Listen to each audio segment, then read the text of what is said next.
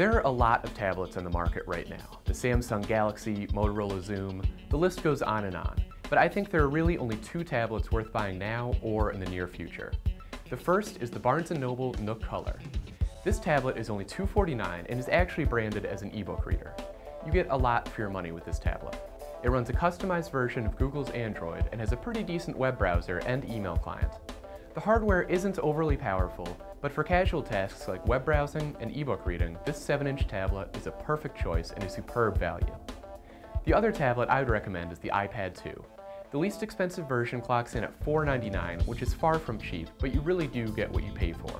The iPad 2 is the most polished tablet on the market by a long shot. Improving on last year's iPad, this year's model is even thinner, lighter, and contains considerably faster parts inside. It also features front and rear-facing cameras for video conferencing or creating home movies. You can even perform basic video editing with the tablet version of iMovie and audio editing with GarageBand.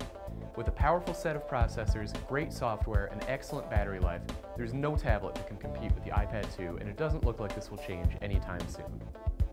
Once again, there are a lot of tablets on the market, but the Nook Color wins for value, and the iPad 2 wins for being the best overall package. Visit my blog or drop me a line on Facebook. This is Jeff, keeping you informed on TechWatch.